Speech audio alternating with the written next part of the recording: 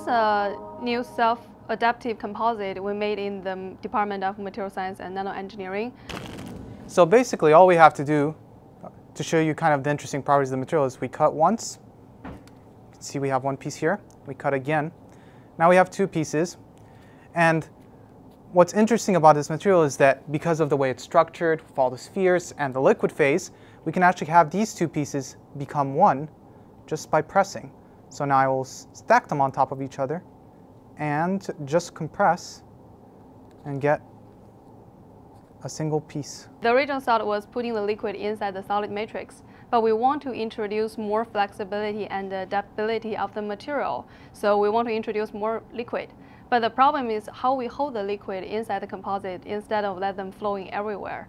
Uh, so what we did is we choose the two elements which uh, can form the weak bonding uh, to each other, and then helping them to uh, keep in a solid composite look like a solid composite. After the testing, uh, it shows the self-healing under tension and also self-stiffening under the compression. So also this is only a demo of the material which I just showed. And it can be tuned. The storage modulus and also the morphology, everything can be tuned due to the uh, playing with the pr procedure and parameters. You don't really expect something that's half liquid, half solid to even hold its shape it's kind of a misnomer. You think of, well, it's half liquid. You think of something like jello or something a little bit different.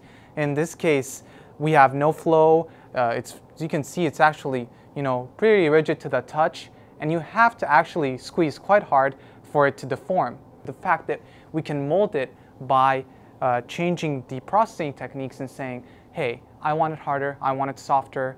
Uh, you can't do that with Play-Doh. It's a little hard. Play-Doh, you can change temperature, but you can't really change anything else. That was also a great invention, to be honest, and because everybody use it and play it. But um, the good part or the normal part we were thinking of uh, is you have to use a microscope. You can see the internal structure. They can move. There is an external stimulation, and the internal structure can rolling and rearranging itself to uh, adapt themselves to the external force.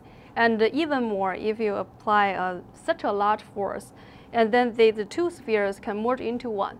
So it's really like they're communicating to each other, see, hi guys, how can we do it better? And to uh, fight with the external force. So we think that's smart materials. Because of the way it can adapt, it can fit into different roles. Uh, depending on how high we can actually scale the strength, we could see it possibly using used as building materials. But more likely, it's very interesting that we see this kind of stiffening ability.